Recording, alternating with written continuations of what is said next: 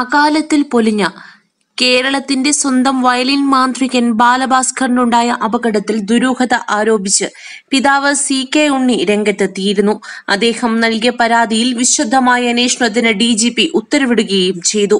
ഇതേ തുടർന്ന് ഫോറൻസിക് സംഘം അപകടമുണ്ടായ കാറിൽ വീണ്ടും പരിശോധന നടത്തി. ഡ്രൈവർ അർജുന്റെ മൊഴി വീണ്ടെടുക്കാനും പോലീസ് തയ്യാറെടുക്കുകയാണ്. ബാലഭാസ്കറാണ് വണ്ടി ഓടിച്ചിരുന്നതെന്നാണ് അർജുന്റെ ആദ്യ മൊഴി. എന്നാൽ അർജുൻ തന്നെയാണ് വണ്ടി ഓടിച്ചതെന്നും ദീർഘദൂര യാത്രയിൽ ബാലു വണ്ടി ഓടിക്കാറില്ലെന്നും ഭാര്യ ലക്ഷ്മി മൊഴി നൽകിയിരുന്നു. മൊഴികളിലെ ഈ വൈരുദ്ധ്യമാണ് സംശയത്തിന് കാരണമായത്. ഇതിന് പിന്നാലെയാണ് തങ്ങൾക്കുള്ള സംശയങ്ങളെല്ലാം ചേർത്ത് കുടുംബം പരാതി നൽകിയിരിക്കുന്നത്.